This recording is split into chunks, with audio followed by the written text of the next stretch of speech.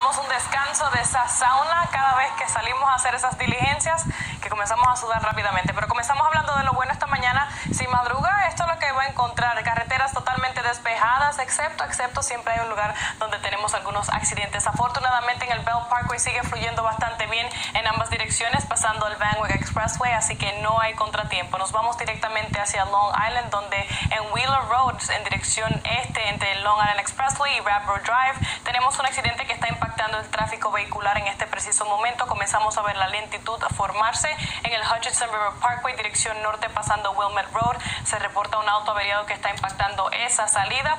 Y no olvide que también las reglas de limpieza continúan suspendidas. Esto va a continuar hasta el 2 de agosto, pero esos parquímetros siguen vigentes. Más adelante vengo con vulnerables y eso es lo que queremos, temperaturas un poquito más normales. Vamos a hablar del tráfico que tenemos actualmente. Estamos viendo el Jersey Turnpike pasando ya que vemos que el tráfico sigue fluyendo bastante bien. Nos acercamos un poco más y ya están surgiendo esos accidentes importantes. Tenemos ya construcciones, reparaciones de emergencia que están impactando la ruta 19 en Nueva Jersey entre la I-80 y la ruta 46 seguimos con ese cierre en ambas direcciones por esas reparaciones hacia el puente George Washington, nivel superior hacia el estado Jardín. Esta vez se reporta un auto averiado que sigue impactando el camino y ya comenzamos a ver la lentitud formarse, así que tenga eso en mente cuando salga de casita. Nos vamos directamente hacia la zona de Mamaroneck, donde la I-95 dirección sur llegando hacia la salida 16 desde la salida 17 se va a encontrar con dos carriles obstruidos debido a la construcción que tenemos en ese sector, al igual que se tiene que manejar en Long Island tuvimos un choque